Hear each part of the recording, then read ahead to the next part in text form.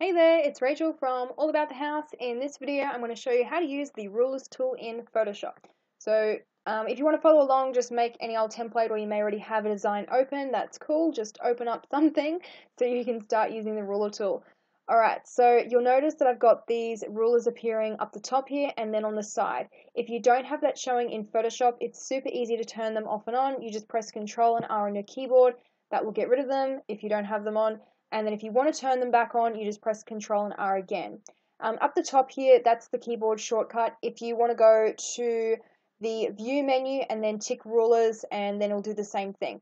So when you see this here, that's the keyboard shortcut, so Control and R, if you don't want to waste time going all the way up here to this menu and then clicking Rulers.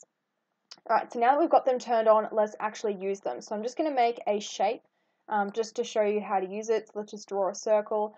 Okay, so let's say that I wanted to put a line through the center of my circle and find like the exact middle. So you can left click here and then drag down and that will bring down the ruler for you. And you'll notice um, you can swatch it, see how it just like snapped then? So the other thing that I like to use in conjunction with the rulers tool is the snap option. So if you go to view and make sure that snap is ticked as well as all of these other ones as well. So then in conjunction with the rulers tool, the snap tool will work and it makes it really quick and easy and fast to do things in Photoshop. So I've just brought this ruler down halfway. So now I can leave this on here. It won't print in your design. It's only what you see on your screen. When you go to print, it won't have this blue line through the middle of it. So you don't need to worry about that. So now you can do your design. So if say you wanted to make a label and you wanted half of the design to have like a chevron pattern up the top and half just to have like a solid color, a plain color, then you'll know exactly where to split your line with the ruler tool. So the other thing that you can do is bring it in from the left side as well, exact same as the top, you just left click and drag to bring it in and see how you can watch it snap. So now you can find the exact center point as well. So that's another reason that I use it is to find the exact midpoint in your shape or your clip art or whatever you want to um, align. So that's how you use the rulers. When you want to get rid of them, you just left click and drag to move them. You can put more than one ruler on at a time, so you can drag down and add a whole bunch of them if you wanted to.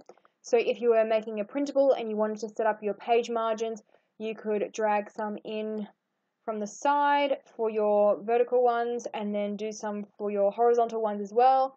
And then this gives you like an outline of where you shouldn't put anything. So don't put any like color or text unless you want it to get cut off when it gets printed out, which obviously we don't that's another reason um, I like using rulers. You can turn them on for guides. If you download a template, for example, from Vistaprint, if you're getting business cards made, you'll notice that it will usually have these ruler tools um, turned on as well. So basically, it's just to know where to not put any anything of your design um, to make sure that it all gets printed. You need to put it within these boundaries.